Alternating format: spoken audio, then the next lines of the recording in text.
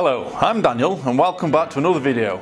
Today I'm going to go over wrinkling in your paint finish. Wrinkling is when the film surface in the paint skins over and then swells, forming irregular ridges and creases appearing thick and leathery. This is usually caused by a few reasons, the main one being too little hardener used. The paint has been applied too thick or the item coated was placed in a hot sun too soon after spraying. This won't happen very often in the UK for obvious reasons, but we'll move on regardless. When too little hardener is used, this will cause the coating to skin over and stay soft underneath. When the temperatures increase, the paint film will expand and cause a wrinkle effect. If the paint top coat has been applied too heavily, then this can also cause wrinkling because you get solvent trapped in the layers of paint, which when they try to escape will disturb the paint film and give an uneven finish. Finally, if the newly painted finish has been moved to direct sunlight too soon, after spraying it will shrivel and dry too quickly and inconsistently, causing the finish to skin over, swell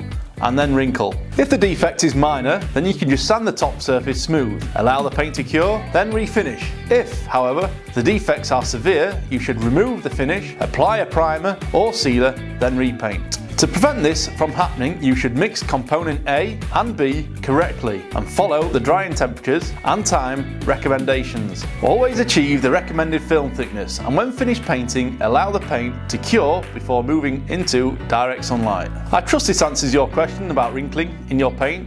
If you still have more questions or any other issues with your paint, get in touch with our team now. If you enjoyed this video, give us a like and subscribe and we will see you next time.